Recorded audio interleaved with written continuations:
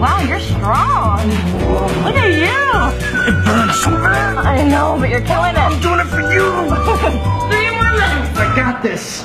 All right, sit up. Let's go. There you go. What? That's my girl. Two. Two.